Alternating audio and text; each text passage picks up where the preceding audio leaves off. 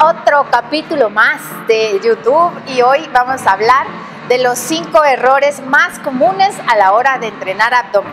Mucha gente se queja de que el abdomen no es una parte agradecida, que no les da resultado lo que están haciendo, que no hay modo que quemen grasa en el abdomen o bien que se lesionan. Y esto es porque generalmente yo he observado estos cinco patrones en el entrenamiento de personas en el gimnasio o que yo he entrenado que hacen malos ejercicios. Los ejercicios que voy a mencionar no es que sean malos, pero sí están mal hechos y están mal hechos porque también no nos están sirviendo para lo que es el trabajo abdominal.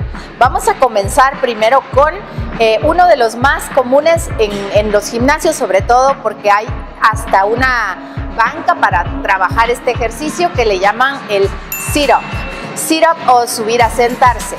Este es un ejercicio en donde generalmente creemos que estamos haciendo muchísima fuerza en el abdomen, pero no.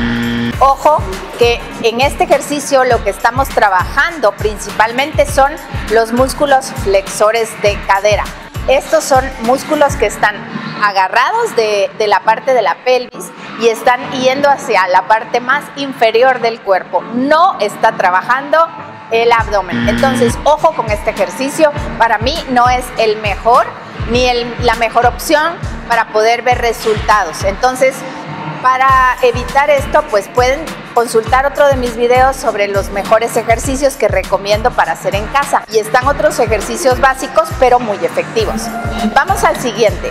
Otro de los ejercicios que no funcionan, porque generalmente la gente los hace muy mal, es el Russian Twist. Torsión rusa, digámoslo así, que sería la traducción.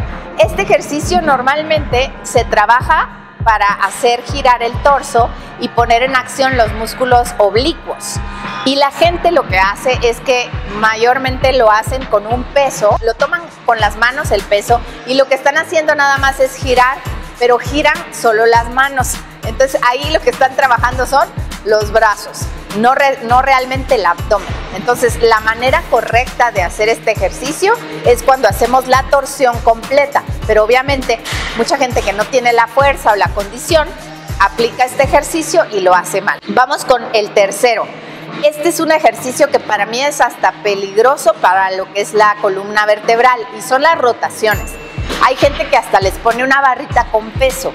Yo no creo que esto es eh, sano ni tampoco es seguro porque generalmente estamos haciendo un movimiento antinatural. Pero una torsión con, con un peso sobre los hombros o con un palito de escoba no nos está trabajando absolutamente nada. Entonces no incluyan este ejercicio. Cuarto ejercicio o el cuarto error es cuando practican el movimiento de los climbers o escaladores. Generalmente la forma en que los hacen es así como muy relajada, suben la cadera, y hacen pequeños como pequeñas zancadas con los pies, eso está completamente mal. Es un ejercicio en donde están perdiendo su tiempo. No es que el ejercicio no es malo, claro, es muy bueno, pero la forma correcta de hacerlo es llevando completamente lo más cercano que podamos la rodilla al pecho y hacemos una pausa en ese movimiento y regresamos. El climber debe ser así, llevando las rodillas al pecho lo más cercano posible.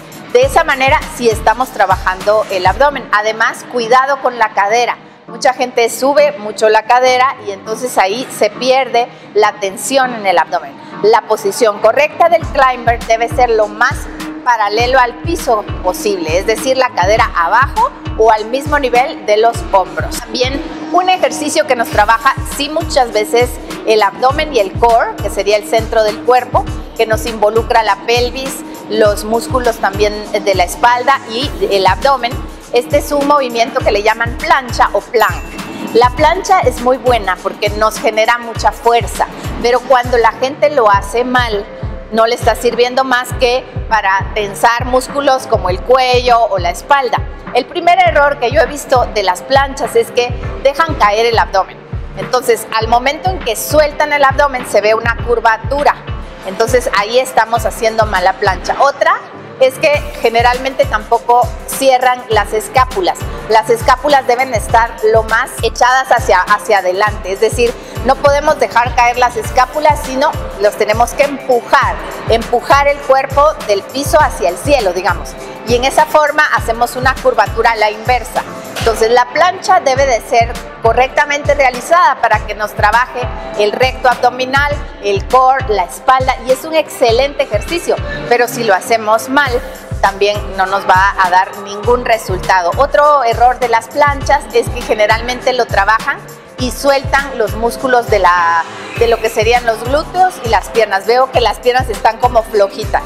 No, la plancha debe de ser completamente tensión de pies a cabeza para que el ejercicio sea correctamente ejecutado y nos dé el resultado que queremos. Las planchas también, si necesitamos trabajar planchas que no es a veces el mejor ejercicio para marcar, siento que es el mejor ejercicio para fuerza, pero eh, si queremos trabajarlo tenemos que hacerlo por tiempo y por lo menos debemos de soportar un minuto en la posición correcta para ver buenos resultados.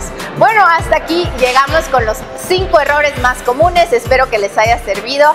Denme un like a ese video y al canal, suscríbanse porque vienen muchos más contenidos, rutinas y Rebe Tips aquí en el YouTube de Rebeca Rubio 1. Recuerden. Y hasta pronto.